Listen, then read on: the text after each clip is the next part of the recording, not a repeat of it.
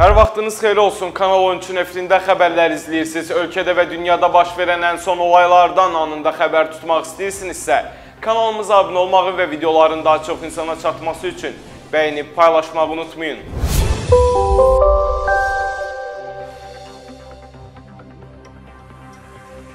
Fairmont Bakı otelində karantin qaydalarını pozan daha bir şəxs məsuliyyətə cəlb edilib.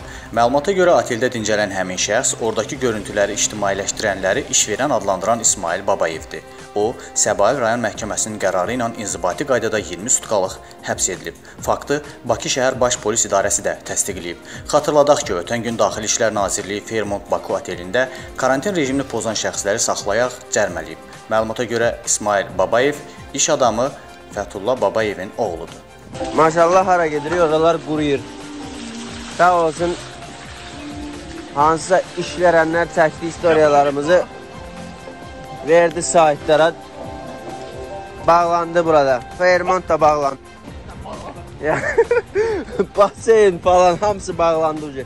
Rahat olun, yəni xəbər sahibləri. Buradan da elədi üz bizim. Görək haran tapırıq növbəti yer istirahət eləməyə. Azərbaycan Respublikası Xarici İşlər Nazirliyinin bəzi vəzifəli şəxslərinin öz səlahiyyətlərindən qəsdən qulluq mənafeyinə zidd olaraq istifadə edib, dövlətin qanunla qorunan mənafeylərinə mühüm zərər vuran çoxsaylı qanuna zidd əməllərə yol vermələri ilə bağlı Dövlət Təhlükəsizlik Xidmətinə daxil olmuş məlumatlar əsasında istintaq əməliyyat tədbirləri həyata keçirildi.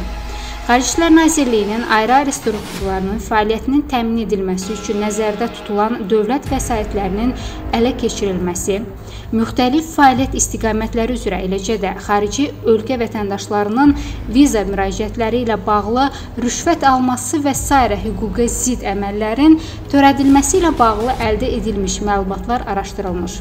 Xarici İşlər Nazirliyinin İşlər İdarəsinin müdiri, Nazirliyin tender komissiyasının sədri Fərhad Mollazadə, İşlər İdarəsinin təsərrüfat şöbəsinin müdiri Səlim Əlizadə və Konsulluq İdarəsinin Konsulluq Hüquq şöbəsinin rəisi Nurpaşa Abdullayev tərəfindən çoxsaylı qanuna zidd əməllərə yol verilməsinə əsaslı şübhələr müəyyən edilmişdir.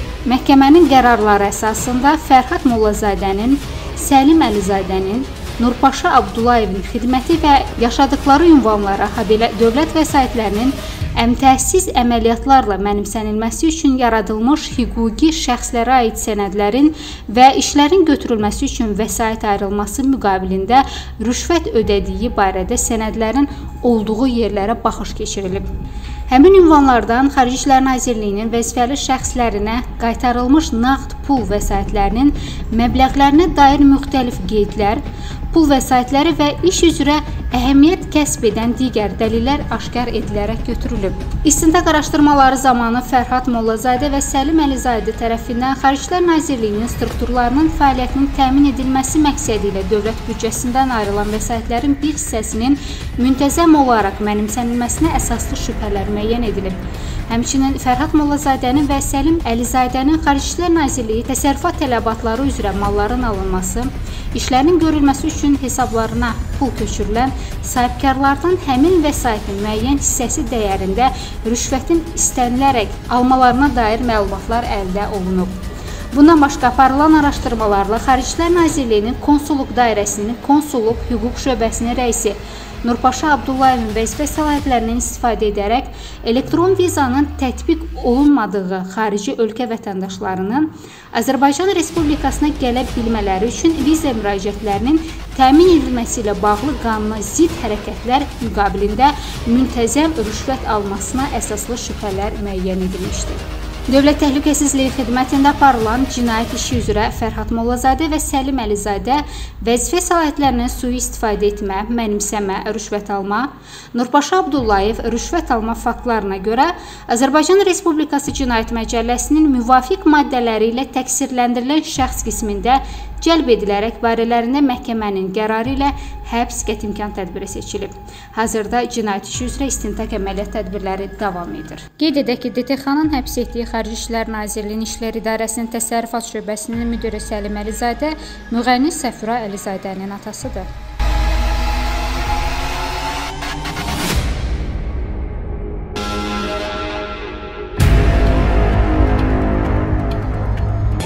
Xüsusi karantin rejiminin tətbiqi ilə əlaqədar işsiz qalan və günəmuzd işləyən şəxslərə 190 manat bir dəfəlik ödəmənin verilməsinə yaxın günlərdə başlanacaq. Bu barədə Əmək və Əhalinin Sosial Müdafiəsi naziri Sahil Babayev məlumat verib. Nazir qeyd edib ki, bir dəfəlik ödəmə sərt karantin rejiminin tətbiq olunduğu 16 şəhər və rayon üzrə bank kartları vasitəsilə həyata keçiriləcək.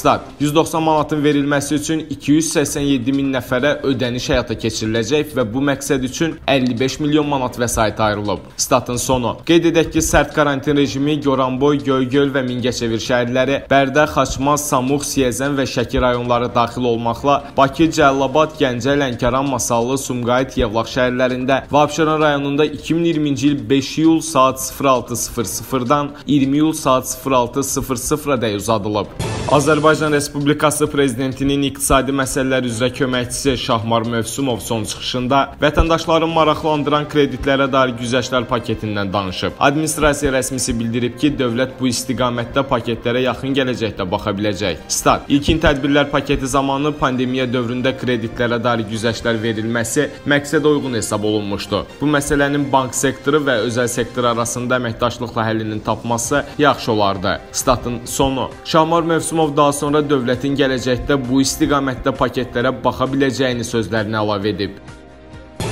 Son vaxtlar daha da ciddiləşən su problemi ölkədə deputatların və bir çox mütəxəssislərin diqqət mərkəzindədir. Millət vəkili Sabir Rüstəmxanlı da məsələyə münasibət bildirərkən söyləyib ki, havalar istiləşdikcə Neftçalada içməli su məsələsi daha ciddi problemə çevrilir. Stat: Bu aralıq dənizi sahilinə neft, qaz kəmərləri çəkən ölkə üçün su içimi kimi bir işdir. Yay uzunu 80 min əhalinin maşınla ovuc-ovuc paylanan su ilə təmin etmək olmaz. 40 kilometrlik kəmər nədir ki? Tikinti təşkilatları cəlb edilsə, gecə-gündüz iş getsə 10 günə bitirmək olar. Statın sonu. Onun sözlərinə görə Kürün Xəzərə tökülən yerində üzən qurğular işləyir. Deltası dərinləşdirilir. Sonda deputat bildirib ki, hökumət Neftçalada vəziyyətin ciddiliyinə ciddi yanaşmalıdır. Payızı gözləmək olmaz, deyə millət vəkili əlavə edib. Sabir Rüstəmxanlı daha sonra bildirib ki, Neftçalaya çəkilən su kəməri ilə bağlı qərar olmalıdır. Daha bir stat. İndiki halda görülən işlərin fəlakətin qarşısını almadığını, əksinə vəziyyəti daha da ağırlaşdırır. Sonda Sabir Rüstəmxanlı bağlı verilən təklifin böyük xərc tələb etmədiyini dilə gətirib. Sağ olun, daim yenilənən kanalımızı izləməyi unutmayın.